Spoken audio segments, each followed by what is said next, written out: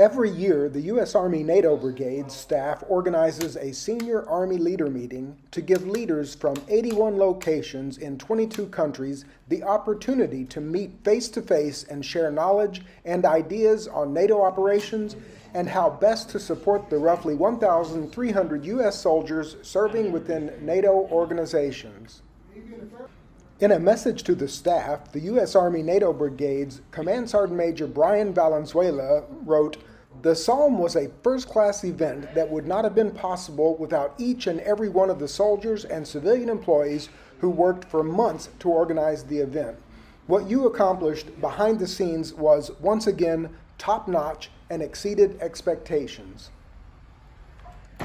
U.S. Army NATO Brigade has only a handful of people in the G3 office that spend months planning the event.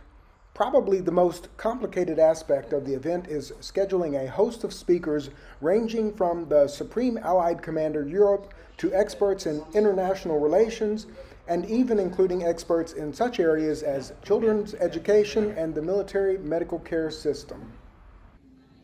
Some other key behind the scenes activities are organizing presentations and reading materials, providing secure network communications on site, contracting for required services, and ensuring participants have access to safe transportation to and from the venue.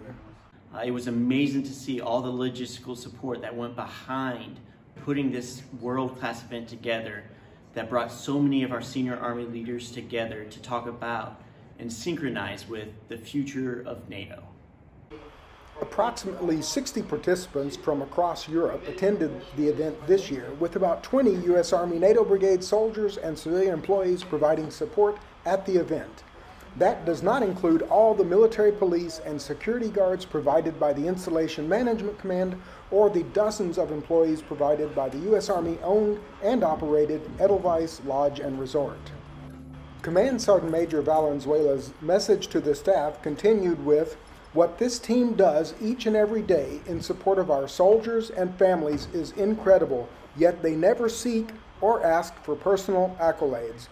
Their professionalism and dedication is indicative of how resilient our brigade is and how we can unite as a team to make the seemingly impossible look easy.